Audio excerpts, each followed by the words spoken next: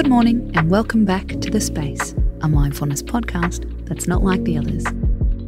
Every Thursday, our theme is All About You, where we give you mindfulness tips to be your best self. Does social media feel like it's killing your vibe? Does one picture have the power to drag you down? What is it about Instagram that can leave you feeling anxious? More importantly, how can you make sure posting and scrolling is a positive experience? According to best selling author Jordanna Levin, it's all about embracing your shadow side.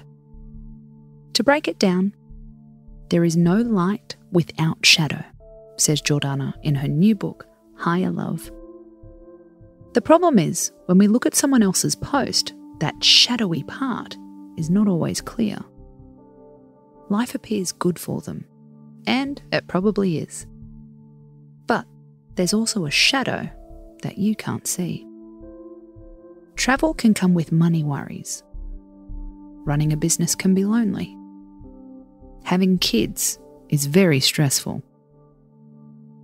A new puppy won't stop pissing inside, even if this isn't shown within a square. If you're going to compare yourself to others, says Jordanna, do it with a little more common sense and perspective. Only a tiny percentage of the people in your world are going to give you the full story. Hot tip they are unlikely to be people you see on social media. Make sure you're considering all parts of the story, especially the side you can't see. The moral of the story? Embrace the shadow side as willingly as the light side, says Jordanna.